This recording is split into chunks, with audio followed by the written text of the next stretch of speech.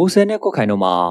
စစ်တပ်နဲ့ TNL တို့သုံးနေရတိုက်ပွဲဖြစ်ပွားပြီးစစ်တပ်ကတိုက်တွေနဲ့လက်နက်ကြီးအလုံး60ကျော်ပစ်ခတ်တိုက်ခိုက်တဲ့တဲ့ရုရှား MIR Payment စနစ်နဲ့မြန်မာ Payment Union တို့ပူးပေါင်းရေးမြန်မာပုဂ္ဂလိကဗန်များဖိတ်ခေါ်တဲ့တဲ့မနေ့ပြန် Payment နိုင်ငံတော်ဝန်နန်းစီရီယံဝန်ထမ်းလာစားများမှာ2000တန်ငွေဆက်ကူများပါဝင်လာမဲ့တဲ့ပါဝင်နောက်ဆုံးရတဲ့တွေကိုတင်ဆက်ပေးပါမယ်ပထမဆုံးတင်ဆက်ပေးမှာကတော့မူဆယ်နဲ့ကုတ်ခိုင်တို့မှာစစ်တပ်နဲ့ TNL တို့သုံးနေရတိုက်ပွဲဖြစ်ပွားပြီး စစ်တပ်ကတိုက်လေနဲ့လက်နက်ကြီးအလုံး60ကျော်ပစ်ခတ်တိုက်ခိုက်တဲ့တဲ့မှာရှမ်းပြည်နယ်မူဆယ်မြို့နယ်ကုတ်ခိုင်မြို့တော်မှာစစ်တပ်နဲ့ TNL တို့သုံးနေရတိုက်ပွဲဖြစ်ပွားပြီးအကြမ်းဖက်စစ်ကောင်စီကတိုက်လေနဲ့လက်နက်ကြီးအလုံး60ကျော်ပစ်ခတ်ခဲ့ကြောင်း BSLF TNL သတင်းနဲ့ပြန်ကြားရေးဌာနကထုတ်ပြန်ထားပါတယ်။ဩဂုတ်လ29ရက်နေ့မနက်9:00နာရီခန့်က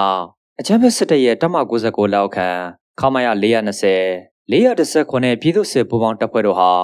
တောင်တမတော်ရှိရာလွယ်တဲမိန်တောင်ကိုအင်အားလုံးရင်းနဲ့ထိုးစစ်ဆင်လာတာကြောင့်တောင်တမတော်နဲ့နထန်အနီးမှာတစ်ကြိမ်ညနေ9:45မိနစ်မှာ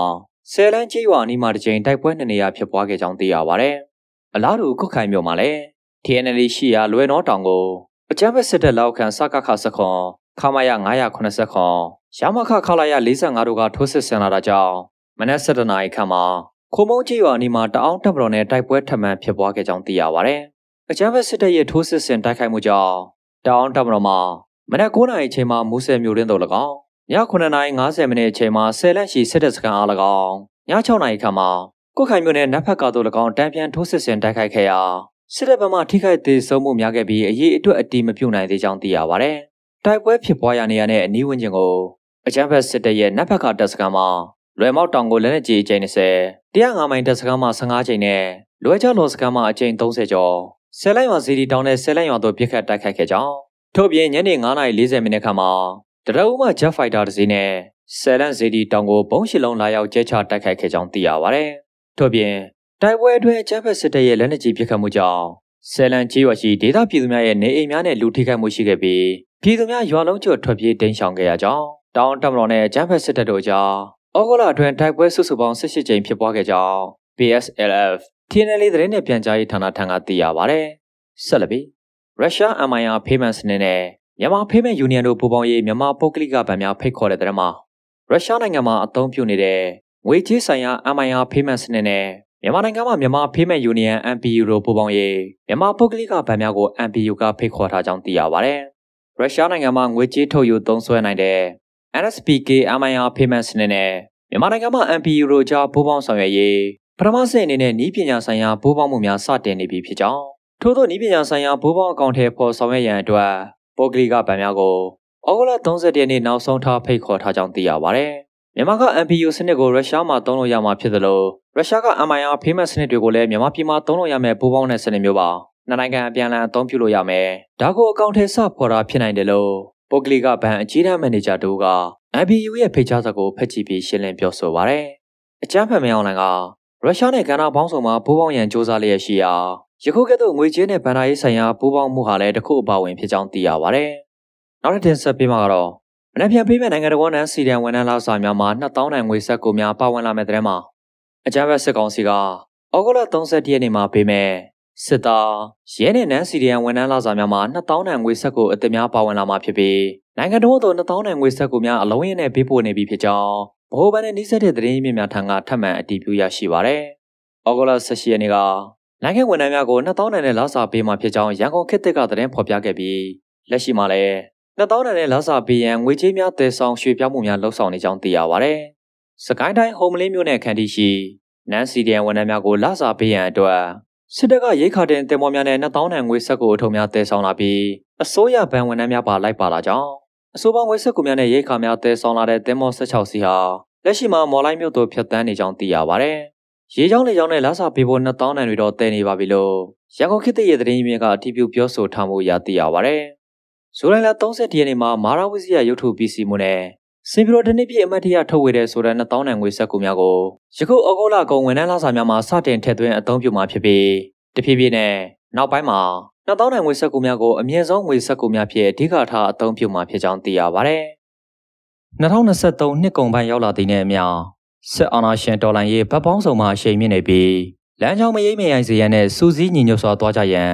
NUG သမရနဲ့ဝင်ကြီးချုပ်တတိပေးပြောဆိုလိုက်တဲ့တဲ့နဲ့အတူနောက်ဆုံးရတဲ့တွေကိုတင်ဆက်ပေးပါမယ်။2023ခုနှစ်ကုန်ပိုင်းရောက်လာတဲ့နေ့မြ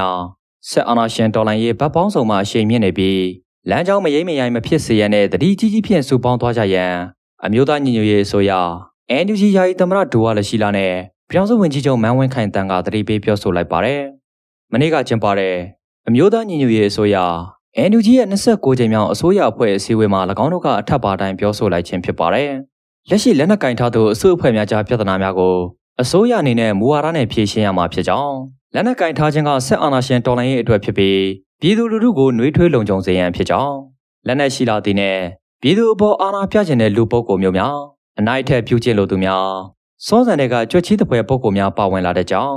2023ခုနှစ်နှစ်ကုန်ပိုင်းရောက်လာသည်နဲ့ဒေါ်လာရေးဟာဗပောင်းဆောင်ကအရှိန်မြင့်လာနေကြောင်း၎င်းကသတိပေးလိုက်ပါတယ်2023နှစ်ကုန်ပိုင်းကိုရောက်လာလေလေဒေါ်လာရေးဟာဗပောင်းဆောင်ကအရှိန်မြင့်လာလေလေဖြစ်တာကြောင့်ဒေါ်လာရေးအင်အားစုတွေတွားနေတဲ့လမ်းကြောင်းမရိမ့်မရရအောင်စုစုစီစီနဲ့ဘုံရီမန်းချက်ပန်းနိုင်ကိုအရောက်လန်းနိုင်အောင်တတိကြီးကြီးထားပြီးတွားကြရမယ့်အချိန်ဖြစ်တဲ့ဆိုတာအားလုံးနားလည်သိရှိပြီးဖြစ်မယ်လို့ထင်ပါတယ်။ စိန်ခေါ်မှုတွေဘလောက်များများဒါကိုရင်ဆိုင်ကျော်လွှားပြီးစစ်အာဏာရှင်ကိုအမြင့်ဖြတ်နိုင်ဖို့ဖက်ဒရယ်နိုင်ငံတော်တည်ထောင်နိုင်ဖို့ကျွန်တော်တို့မှာယုံကြည်ချက်ခိုင်ခိုင်မာမာရှိနေတာဟာဒီဒေါ်လာရေးကိုမဖြစ်မနေအောင်မြင်စေမယ့်အကြောင်းတရားတစ်ခုပဲဖြစ်ပါတယ်။လွဲချော်ခဲ့မှုတွေအမားတွေကနေလည်းသင်ခန်းစာယူပြီးရှေ့ဆက်နေကြရတာမို့အမားကင်းကင်းနဲ့စစ်ကောင်စီရဲ့လက်ကွက်တွေကိုကြော်လွှားသွားဖို့အသင့်ဖြစ်နေကြတဲ့ဒေါ်လာရေးလည်းဖြစ်ပါတယ်။ဒါကြောင့်လည်းစုစုစီစီပေါင်းဆက်ညီနိုင်ကြရင်ဆက်လက်အားထုတ်သွားကြဖို့တိုက်တွန်းလိုပါတယ်။ တတိထားဖြည့်ရှင်းရမယ့်ကိစ္စတွေကိုလည်းပြဿနာတွေမကြီးထွားခင်မြန်မြန်ဆန်းဆန်းဖြည့်ရှင်းဆောင်ရွက်ကြမယ်ဆိုရင်အခက်အခဲနဲ့မှဖြစ်ပါတယ်။အထူးသဖြင့်လက်နက်ကင်ထားကြတဲ့အစုအဖွဲ့တွေကြားကပြဿနာတွေဆိုရင်အစိုးရတွေအနေနဲ့ခိုင်ခိုင်မာမာမူဝါဒတွေချမှတ်ဖြည့်ရှင်းကြရမှာဖြစ်ပါတယ်။လက်နက်ရှိလာတာနဲ့ပြည်သူအပေါ်အာဏာပြခြင်းတဲ့လူပုဂ္ဂိုလ်မျိုးတွေအနိုင်အထက်ပြုကျင့်လို့သူစွန်းစံတွေကကြွက်ချီးတဲ့ဖွဲ့ပုဂ္ဂိုလ်မျိုးလည်းပါဝင်လာတတ်ပါတယ်။ဒါကြောင့်တာဝန်ရှိသူတွေဝင်ကြီးဌာနတွေအနေနဲ့အစစ်စစ်အမိန်ပေးစနစ် စီကမ်းလိုက်နာမှုပူးပေါင်းဆောင်ရွက်မှုချစ်လက်သောစုဖွဲ့မှုတွေရှိလာဖို့ပြဿနာတွေရှိလာရင်လည်းလျင်မြန်စွာဖြေရှင်းဖို့အင်မတန်အရေးကြီးမှာဖြစ်ပါတယ်။တကယ်တော့လက်နက်ကင်ဒေါ်လာရေးတပ်ဖွဲ့တွေဆိုတာပြည်သူကိုလုံခြုံနှွေးထွေးအောင်ကာကွယ်ပေးရမယ့်တာဝန်ကိုယူထားကြသူများဖြစ်ပါတယ်။ကာကွယ်ပေးရမယ့်သူတွေကလမ်းကြောင်းတွေလွဲလာကြမယ်ဆိုရင်ဒေါ်လာရေးအတွက်လည်းထိခိုက်မှုရှိလာမှာဖြစ်ပါတယ်။ပြည်သူတွေဘက်ကညှို့ညင်စရာဖြစ်ရတွေများပြားလာရင်ပြည်သူလူထုရဲ့အားပေးထောက်ခံမှုလည်းတစားထက်တစားပြည့်လွန်သွားနိုင်တာကိုသတိကြီးစွာထားရမှာဖြစ်ပါတယ်လို့ ပြောင်စုဝင်ကြီးချုပ်မန်းဝင်းခိုင်တန်းကသတိပေးလိုက်ပါတယ်။ယာယီသမ္မတဒူဝါလည်းရှိလာကလည်းဒေါ်လာရင်းနဲ့အစိုးရရဲ့အသက်သွေးကြောဟာပြည်သူလူထုရဲ့ထောက်ခံမှုဖြစ်ပြီးပြည်သူလူထုနဲ့တသားတည်းရက်တည်ရန်အရေးကြီးကြောင်းဘုံသဘောတူညီချက်ချင်းတူညီလျင်ပူးပေါင်းဆောင်ရွက်ရမှာဖြစ်ကြောင်းသတိပေးပြောဆိုလိုက်ပါတယ်။မြို့သားညီညွတ်ရေးအစိုးရအဖွဲ့မှကန္နာအသီးသီးမှာပခုံးထမ်းတာဝန်ဆောင်ရွက်နေကြတဲ့ရဲဘော်ရဲဘက်များကိုကျွန်တော်အနေနဲ့တိုက်တွန်းလိုတာကကျွန်တော်တို့တော်လိုင်းဟာပြည်သူနဲ့ကင်းကွာတဲ့တော်လိုင်းရေးမဖြစ်ဟာ တော်လိုင်းရေးသစ္စာတစ်ခုဖြစ်တယ်ဆိုတာအမြဲကယူပြုထားကြဖို့ဖြစ်ပါတယ်။ကျွန်တော်တို့ဟာ